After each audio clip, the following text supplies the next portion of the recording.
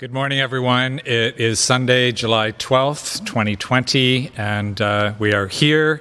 You are there, and we are together in community once again uh, for worship. So, welcome to you all, and uh, once again, we're gathering together in uh, this internet and online community.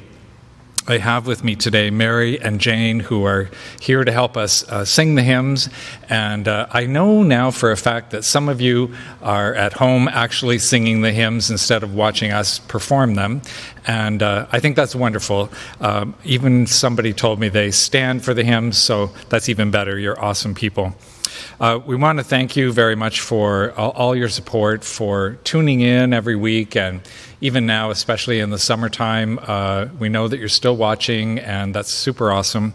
And uh, thank you also for continuing to uh, bring your donations into the church or sending them in on Canada Helps, uh, whatever, however works for you. Uh, we've been really appreciative of those donations. I just have a quick update for you on my story of the red convertible Volkswagen Beetle. And uh, I do have a line on uh, Beetle. Uh, the very next day after giving that sermon, somebody called me and said, I've got your bug. And uh, believe it or not, I knew what they were talking about.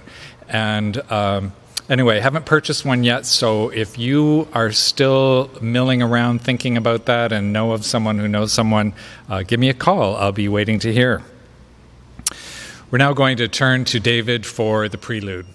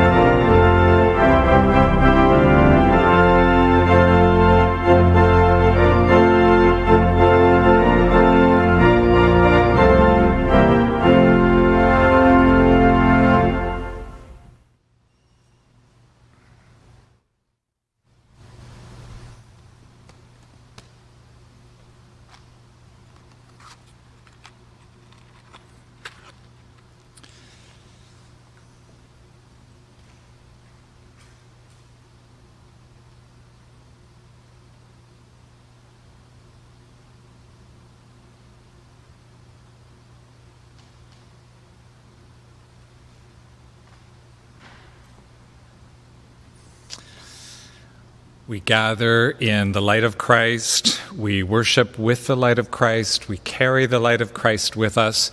And so may the light of Christ fill our hearts and be with us in our worship here this morning. Here is our call to worship. We are called, each and every one of us, to this time and this place we have set aside for life and light and love. There has never been such a time as this so come with generosity of spirit. Come with hope filled hearts. Come with enthusiasm, with gusto, and with open minded awareness. We are called by our Creator to listen for holy wisdom. We are called to listen for all that is sacred and holy. We are called to listen for the story beneath the story, the story that unites us all. We are called to be challenged and blessed so that we might live lives of authenticity and integrity. May it be so. We're going to begin with our hymn, which is number 260 in Voices United. It's just two verses long God who gives to life its goodness.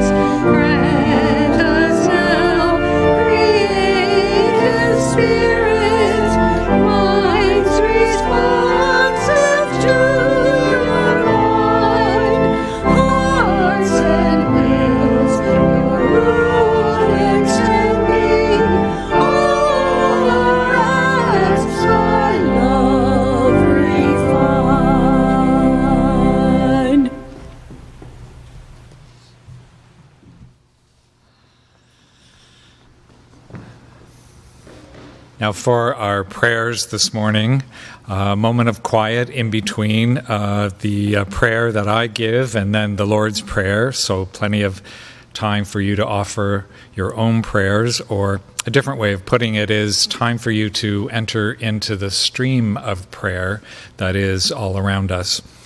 So let's take a moment for our prayer. Great Spirit of oneness, great source of life and love. We are gathered in your spirit. We are gathered in your love. We open our hearts and our mouths. They are filled with songs and praise. We open our minds and our spirits. They are filled with the prayers of our hearts. As we gather in this sacred place together, our world beckon, beckons us to carry the story that is so needed today. Our community, our circles of care, our partners, and our friends all beckon us to choose life, to embrace hope, and to be the change we wish to see in our world. So may this time together give us courage and strength for these tasks. Now, in these quiet moments, let us take a few breaths and hold in our minds those who are dear to us, those whom we treasure. Let us hold those who are suffering or in distress and those enduring one of the many faces of grief. And let us hold in our minds those who need our prayers, the sick, those just home from hospital, those facing treatments of some kind. And let us shine a light of hope their way.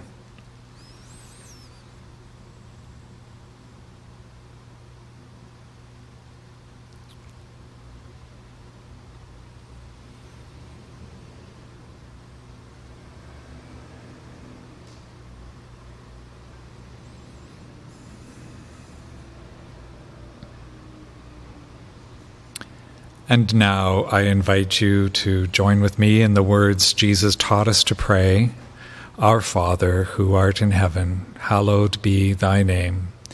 Thy kingdom come, thy will be done on earth as it is in heaven. Give us this day our daily bread, and forgive us our trespasses, as we forgive those who trespass against us. And lead us not into temptation but deliver us from evil. For thine is the kingdom, the power, and the glory, forever and ever. Amen. And we're going to respond to the prayers with another hymn, and this one is in the More Voices hymn book. It's number 89. And if you don't have that hymn book uh, with you, uh, I hope that you have it at least printed out. The words are stunning and beautiful. It is called Love is the Touch.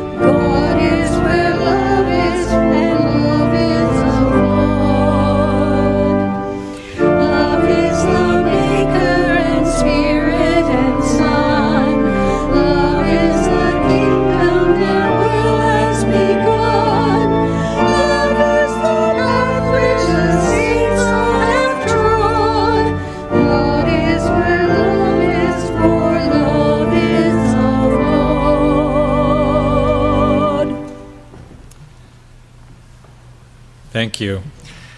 We're going to do a psalm reading today, Psalm 84, and there is a response for you to say along with me.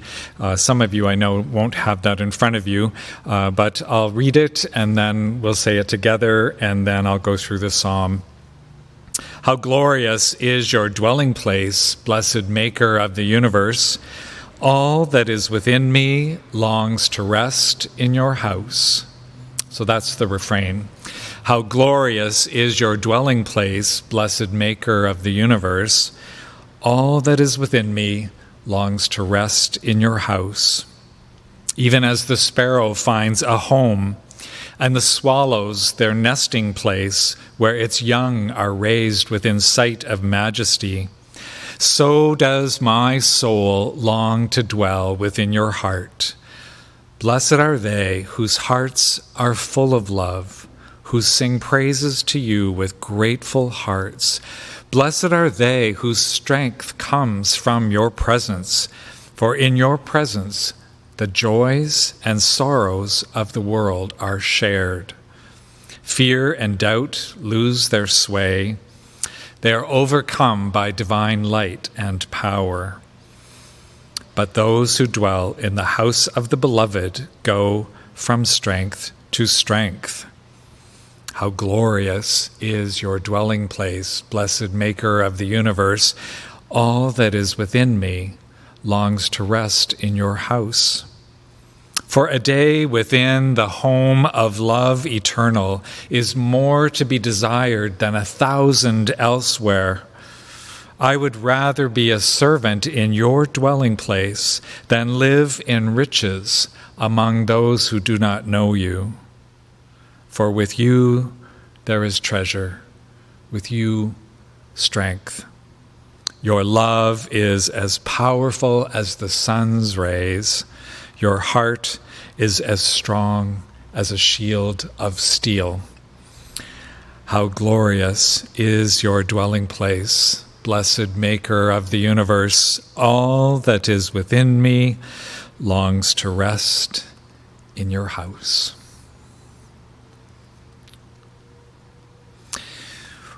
Well, since I was last with you, I read to you the Abrahamic covenant and a little bit of the beginning of the Abrahamic story, wherein uh, Abraham and Sarah were given the message that they were going to have a child.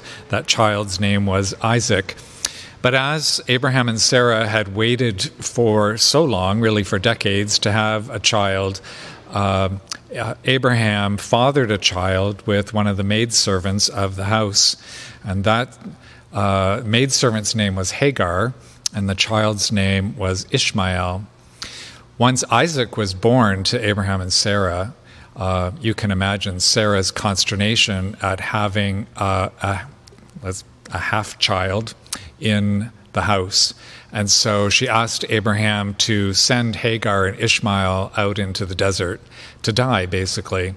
They didn't die, and uh, Ishmael went on to become the father of the Islam nation. Also, since we last met, and another story in between the one for today and the last one, uh, Abraham's nephew Lot became embroiled in the brouhaha that happened in the towns of Sodom and Gomorrah. And uh, that goes on for a number of chapters in Genesis. And then at the end of it, when God decides to smite the two towns, having allowed uh, Lot and his uh, daughters to escape, um, there as you know, is a story in there that is rarely talked about, but everybody knows uh, is in the middle of the, uh, the book of Genesis. So those two major stories um, are in between last time and this time. And so now our um, reading for today from Genesis 22. After all of this, as if that wasn't enough. God tested Abraham. God said, Abraham, yes, answered Abraham, I'm listening. He said, Take your dear son Isaac, whom you love, and go to the land of Moriah. I want you to sacrifice him there as a burnt offering on one of the mountains that I'll point out to you. So Abraham got up early in the morning and saddled his donkey. He took two of his young servants with him and his son Isaac. He had split wood for the burnt offering.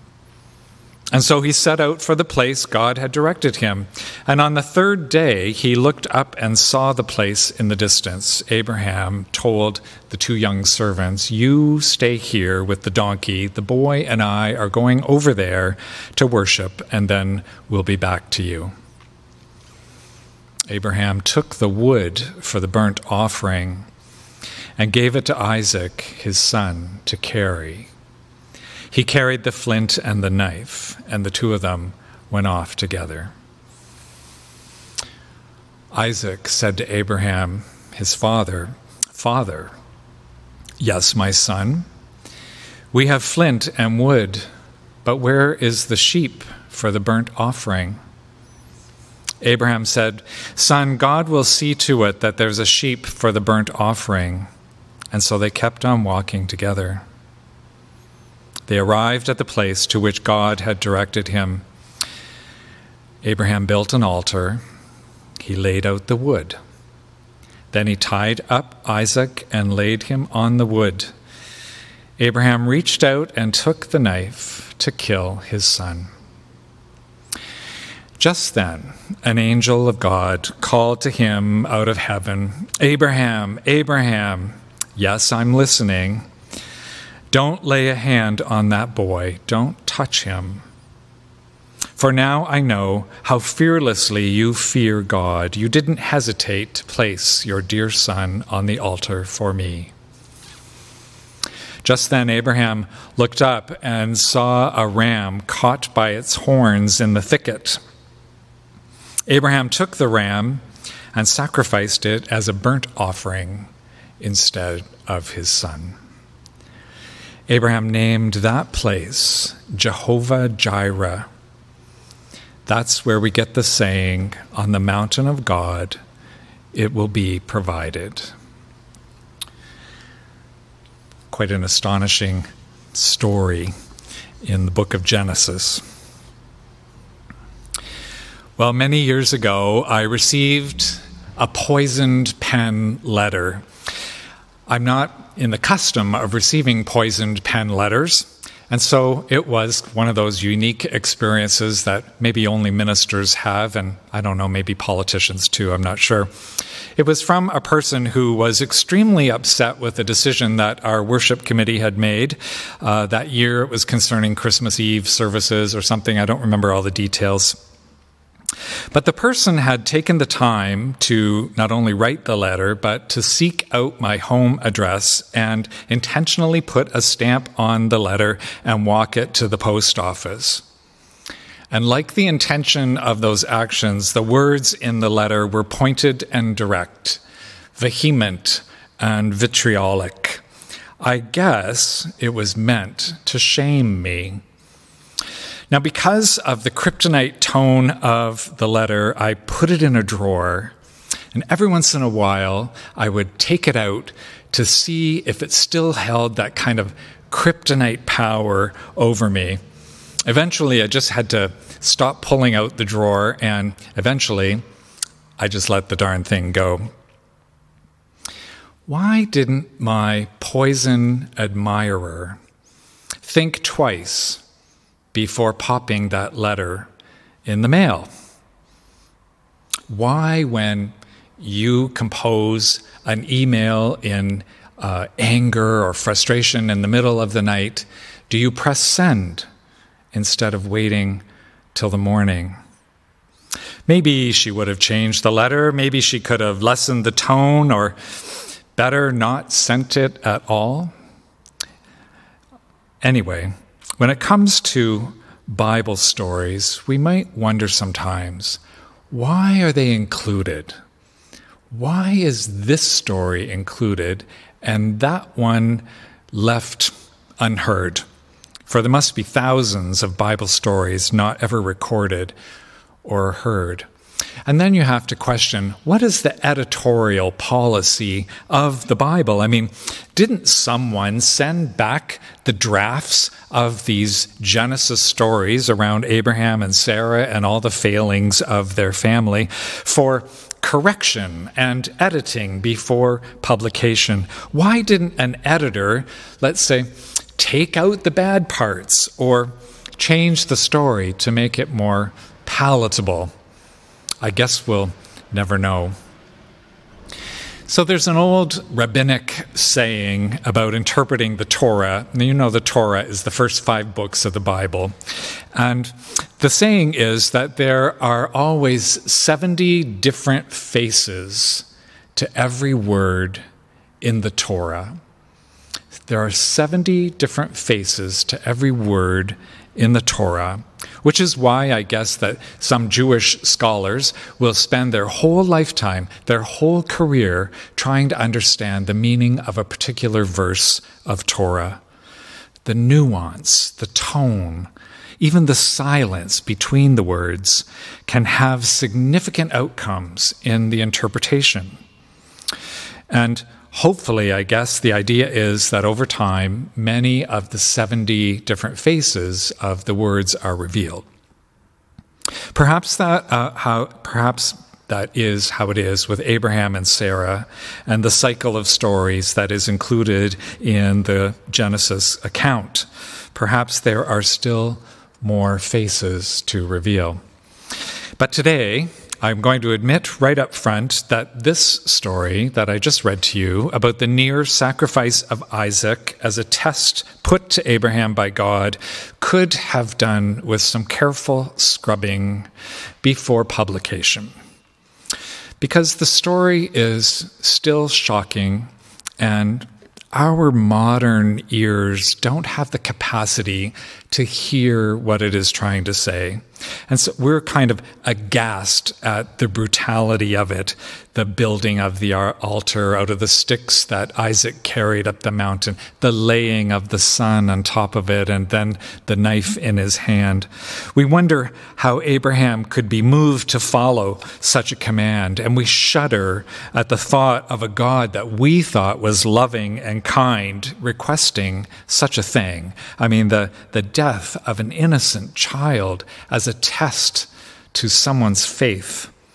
I was thinking about my own kids who are now fully grown and in their 30s, and I was thinking about them and maybe your kids too, if I knew them, and thinking that if we were to read this story to them, they would say, I'm sure, if this is who God is, then count me out. Not a lot of nuance in that response. After a funeral a few years ago, an attendee came up to me and told me that she went to a church which believed in the fundamental truth of each and every word of Scripture. I was really impressed by this woman. I was impressed by her audacity as she carefully explained, explained to me the reasoning behind it. And I all the time was wondering, why is she telling me this? I think she was telling me that I had an inadequate view of Scripture. And basically, she said that God is in control of every single moment of our lives. And if we listen, God will tell us in every moment exactly what we should do. And she quoted to me the story of Abraham's near sacrifice of Isaac as the premier example of this. I let her warm to her theme.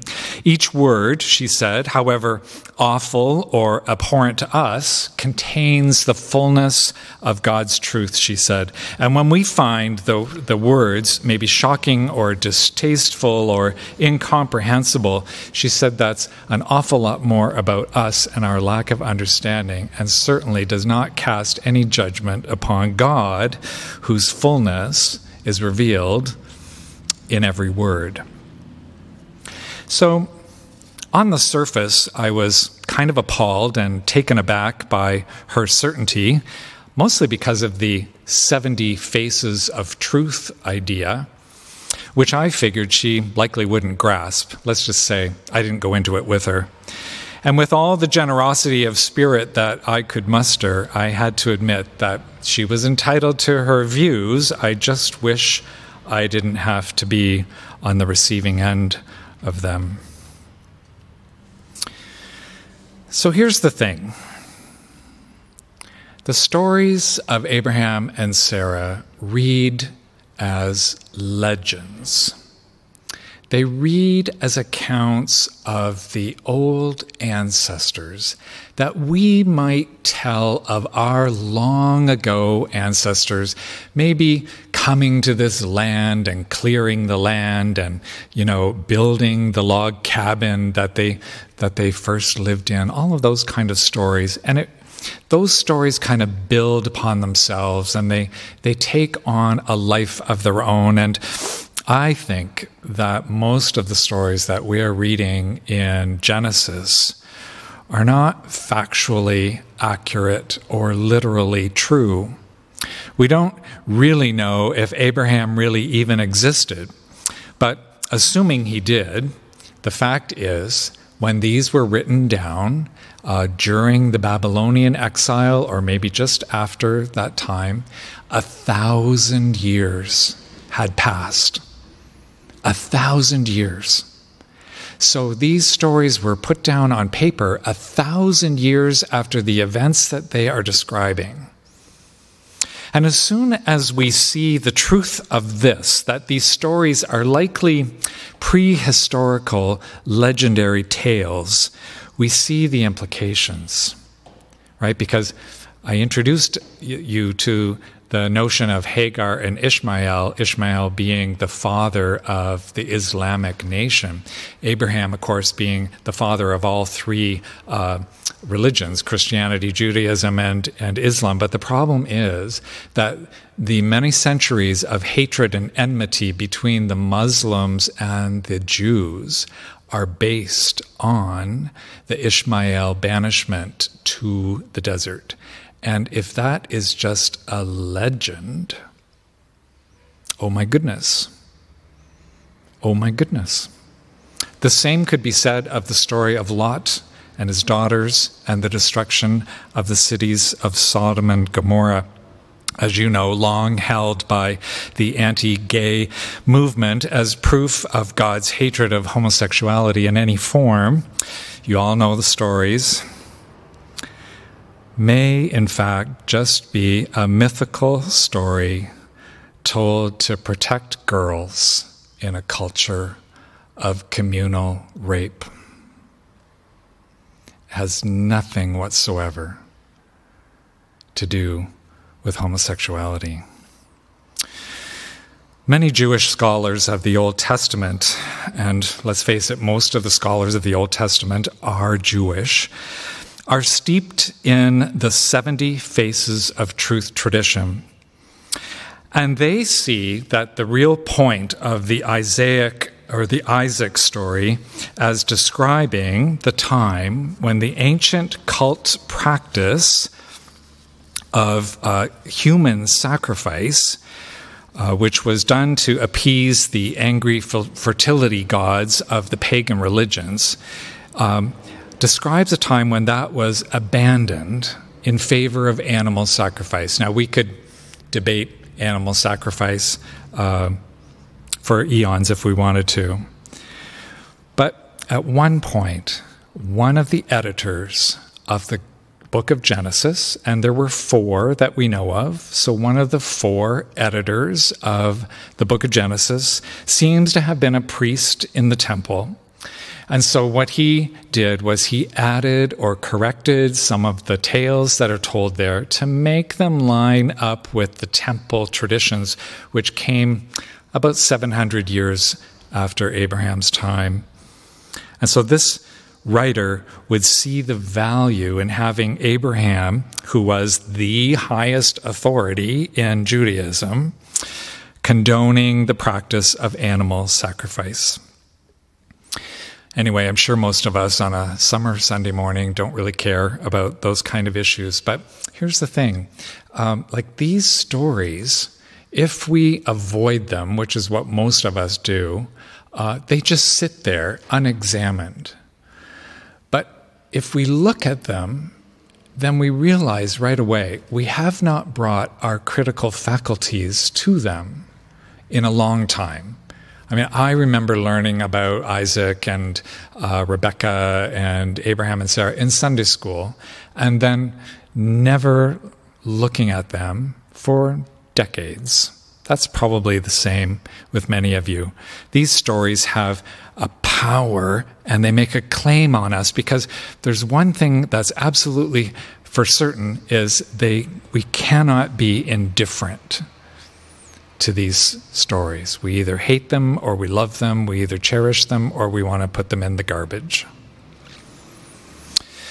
So, what if we give ourselves permission to edit the stories again?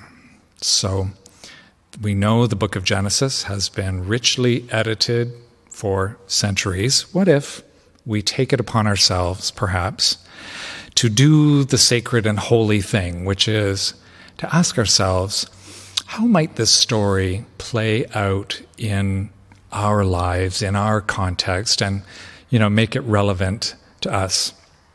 So, for the remainder of the sermon, I'm going to give you three scenarios. What I've done is I've looked at three things that I find abhorrent in the text, and then I've written three different endings. So, the first one is this. So, I believe that violence against children is abhorrent and morally repugnant. I also don't want the Bible seeming to condone it. Um, I don't believe that anybody is ever asked to hurt a child by God. God does not condone the killing of children. Now, I could spin out this to include the training of child soldiers in our day, or uh, systemic racism, which keeps minority children in impoverished systems as a form of child abuse, or the former government policy in our own country of killing the Indian in the child. But I digress. Here's my point. As Abraham and Abraham and Isaac were walking up the mountain to make a sacrifice to God, they named all the beauty around them the birds, the trees, even the sheep roaming on the faraway hillside. And as they were climbing the hill, a lump formed in Abraham's throat. Was it really true that God was asking him to sacrifice his own son? He reasoned that no one would ever want to hurt their child in God's name. And so he thought, if push comes to shove, I would rather sacrifice myself. And I would do that for my son. I would lay down my life for him. It's as simple as that. And so Abraham asked God for a sign, and just then a young ram appeared in a bush and so Abraham took Isaac into a clearing where instead he taught him how to start a fire, how to survive in the wilderness, and how to reverence the food that they had found. What a great trip, Isaac told his mother when they returned. Here's the second scenario. I believe that patriarchy is a problem.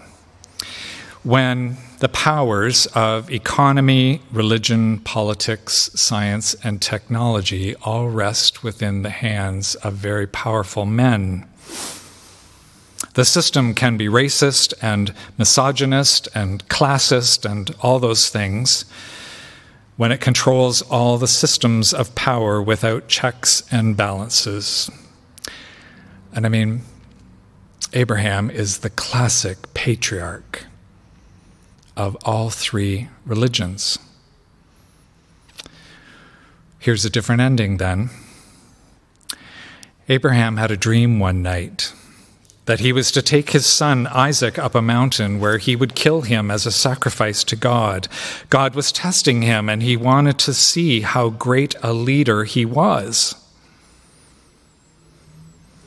He woke up Sarah They discussed the merits of listening to the dream. Sarah said, Why don't you talk to your brother Nahor and seek counsel from other men and women within the family? You shouldn't have to stake your honor on one foul deed. So Abraham sought wide counsel and received 70 different opinions on how to proceed. In the end, he went alone into the wilderness, and there he offered his own life as a sacrifice, as a way to show that he had made the best informed decision he could make with all his partners, including the women of the tribe, and all of whom who could not bear the thought of a child being made to pay for someone's sense of honor. Here's the third. I believe that the personification of God, with heavy accents on male power and strength, as a way in ancient times to trump the other gods of the neighboring religions, is false. It's not fair to the creator of the universe, whose presence and energy is all about growth, creativity, change, and transformation to be imprisoned in human language that is inadequate to the task.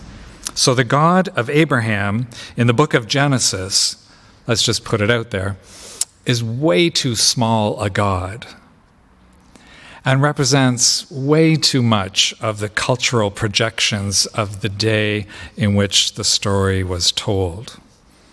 So, here's an ending. As Abraham led his son up the mountain of Moriah, he was overcome with the transcendent beauty of the place and for the first time felt that his body was becoming one with his surroundings. His soul melted into the soul of his son Isaac, and the two of them stopped in awe to admire all the gifts of life spread out before them. Abraham thought to himself, I am such a small speck in the order of things. I can't possibly know the goodness or greatness of God, but I do know that I am now a part of something much larger and more beautiful and more true. He looked down at Isaac and he prayed that at some point his son would learn this as well. And as they sat down around the fire they built, and ate the rations they had brought for the journey, Abraham could see that not only were they specks in a grand universe, but they were beloved specks in a grand universe. And then he thought of his son Ishmael, whom he had led out to the desert and realized that he too was a beloved speck. He resolved to find them and to make amends as soon as he returned. He also resolved then and there never to recount the story of the near sacrifice, never to Sarah, never to his friends, nor his relations, because what he wanted most of all was for the whole world to feel the same peace he held in his heart. And that was the legacy Abraham left for the generations. Well, I've given you three possible alternative endings. That means there are 67 more to discover. Over to you. Let me know what you come up with. Amen.